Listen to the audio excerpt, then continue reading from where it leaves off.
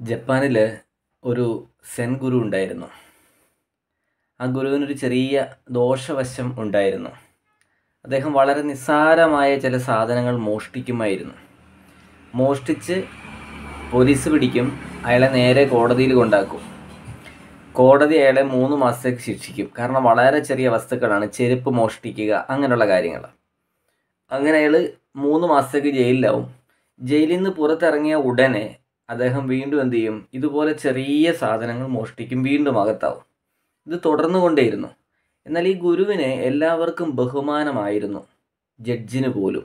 അദ്ദേഹം ചോദിക്കും അങ്ങ് എന്തിനാണ് ഈ പ്രവൃത്തി ഇങ്ങനെ ചെയ്യുന്നത്? അതും വളരെ നിസ്സാരമായിട്ട്. ഇവിടുത്തെ ചക്രവർത്തി പോലും അങ്ങയുടെ ഭയങ്കരമായിട്ടുള്ള ആരാധകനാണ്. പിന്നെ എന്തിനാണ് അങ്ങ് ഇങ്ങനെ ചെയ്യുന്നത് ചോദിച്ചു. അദ്ദേഹം ഒന്നും മിണ്ടിയില്ല. പുഞ്ചിരിക്കുക മാത്രം ചെയ്യും. ജയിലിൽ നിന്ന് ഇറങ്ങിയാൽ ഉടനെ വീണ്ടും മോഷണം തുടങ്ങും.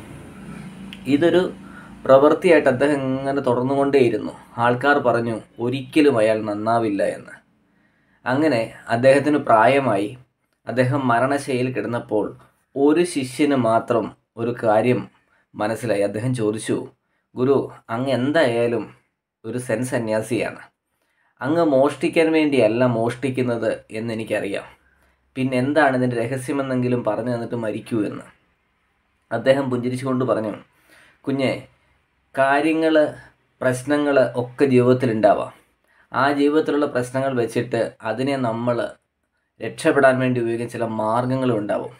ഈ മാർഗങ്ങൾ എളുപ്പ വഴികളായി മാറുമ്പോഴാണ് നമ്മൾ പലതും മോഷ്ടിക്കുന്നത്. എല്ലാ മോഷണവും മോഷണവുമാണ്. ഒരാളുടെ മനസ്സ് മോഷ്ടിക്കുന്നതും ചെരുപ്പ് മോഷ്ടിക്കുന്നതും വാച്ച് മോഷ്ടിക്കുന്നതും ഒക്കെ തന്നെ മോഷണമാണ്.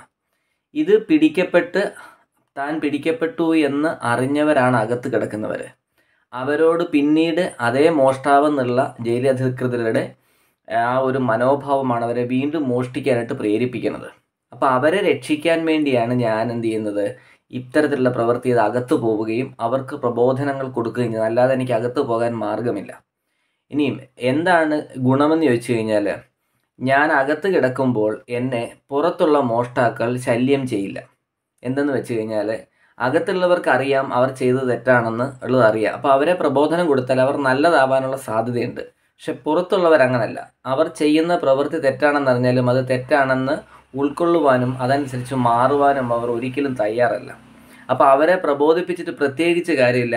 അകത്ത് കിടക്കുന്ന മോഷ്ടാക്കളെക്കാൾ പ്രശ്നക്കാരാണ് വെളിയിലുള്ള മോഷ്ടാക്കളെന്ന് മനസ്സിലായപ്പോൾ ഏറ്റവും സേഫായ മാർഗം ഇതാണെന്ന് തോന്നിയിട്ടാണ് ഞാൻ ചെയ്തത് എന്ന് പറഞ്ഞിട്ട് ഈ ലോകത്തുനിന്ന് അദ്ദേഹം പുഞ്ചിരിച്ചുകൊണ്ട് വിട പറഞ്ഞു എന്നാണ് കഥ.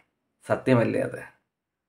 നിങ്ങളുടെ അഭിപ്രായങ്ങളൊന്ന് ഓർത്തു നോക്കൂ. നമ്മൾ പറയുന്ന കള്ളങ്ങൾ നമ്മൾ ചെയ്യുന്ന കാര്യങ്ങൾ ഒക്കെ തന്നെ എന്തായിരിക്കും? നമ്മൾ എങ്ങനെയായിരിക്കും ജീവിക്കുക? അകത്തുള്ളവരും പുറത്തുള്ളവരും എന്ന് പറയുമ്പോൾ നമ്മുടെ ഉള്ളിലുള്ള ഒരു ലോകവും പുറത്തുള്ള ഒരു ലോകവും ഉണ്ടെന്നും കൂടി മറക്കരുത് ഈ വീഡിയോ കാണുന്ന ഓരോരുത്തരും. ഇന്നതുപോലെ. Have a nice day thank you